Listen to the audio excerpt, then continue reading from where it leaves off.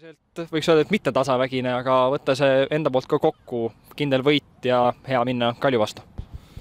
jah, et äh, eelviimane mäng oli täpselt nendesamade narvalaste vastu, et äh, tegelikult ega siis ka me väga halvasti ei mänginud, aga tulemus oli nagu risti vastupidi, et et meil oligi nüüd paar nädalat aega rahulikult koguda ennast ja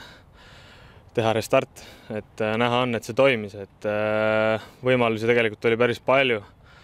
viis sai realiseeritud, ma arvan, et see on väga hea tulemus. Ja selle tulemuse pealt on tõesti niisugune hea emotsioon minna nagu Kaljule vastu, et, et see Kalju mäng on, on väga tähtis ja eks me juba nüüd hakkame mõtlema rohkem selle peale, et kas sai ka natuke Narva Transi vastu nüüd vähemalt teisel poolel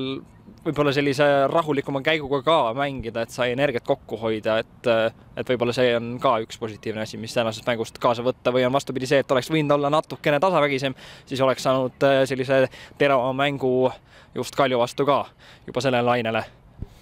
No et kas just tagasi hoida, et äh, seda vast mitte, et äh, eks kindlasti siin kukla taga see natuke distsipliin saab kannatada kohe, et kui see seis juba niisugune kolm-neli-null on, et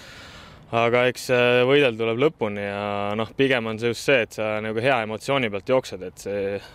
et see nagu mõnes mõttes kulutab nagu natuke vähem kui sellise negatiivse emotsiooni pealt sinna lõpuni pingutada, et et selles suhtes ma arvan, et on kõik väga hästi ja, ja nüüd siis loodame, et Kalju vastu nagu tuleb samamoodi võimalusi ja realiseerimisi palju, nii et eks siis näha ole. aga aitäh sulle kommentaaride eest, palju edu sulle Kalju vastu!